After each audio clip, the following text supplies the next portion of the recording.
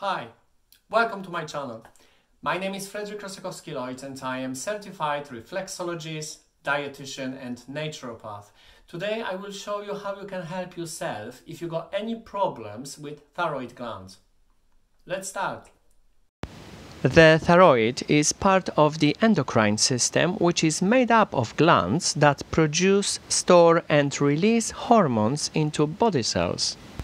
The thyroid gland is about 7 centimeters long and lies in front of your throat below the Adam's apple. The thyroid gland uses iodine from the food you eat to make two main hormones T4 thyroxine and T3 triiodothyroin. And this is very important that T3 and T4 levels are neither too high nor too low. The first important point is on the spinal column just below C7. I said below because you need to find it.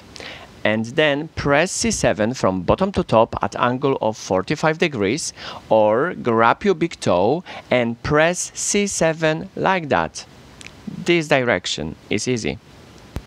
There is also what I called thyroid triangle there are a lot of nerve endings at this area and at the end of it there are parathyroid points here and here.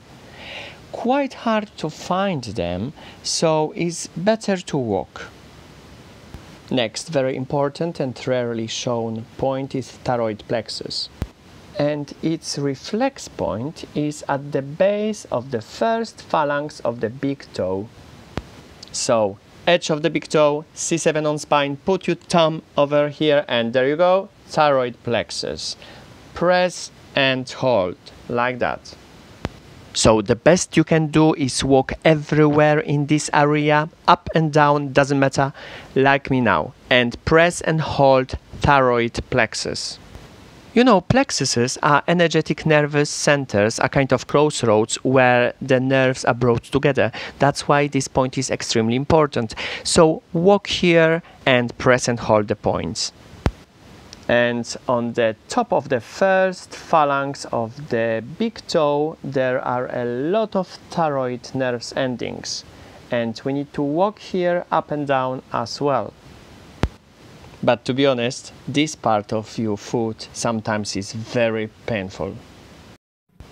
If you have too much T3 or T4, which is called hyperthyroidism, you can experience anxiety, irritability, or moodiness, nervousness, hyperactivity, sweating, handshaking, hair loss, missed or light menstrual period.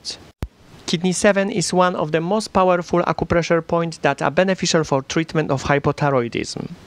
It's situated on the medial aspect of the lower leg, at the border of the Achilles tendon, two cun above point K3. K3 is just behind the inner ankle. And what is a cun? Basically, this is the width of the receiver thumb. Someone may ask why receiver, because this is the most exact measurement. So press and hold like that for 5-6 seconds and then repeat 3-4 times. If you have too little T3 or T4 in your body, which is called hypothyroidism, you can experience trouble sleeping, tiredness, difficulty concentrating, dry skin and hair, depression, sensitivity to cold temperature. P6 is very important pressure point in acupressure therapy for treatment of hyperthyroidism. Point P6 is located two cun above the wrist crease in between the palmaris longus and flexor carpi radialis tendons. Please press and hold for 5-6 seconds and then repeat 3-4 times per session. On the palm of the hand, the reflexes are next to the thumb. There is also thyroid plexus, which is powerful energetic nervous center, which should be pressed from bottom to top as I show you now. And here, this area between the proximal phalanx and metacarpal bones, there are reflexes of thyroid. You should walk there and press as deep as you can.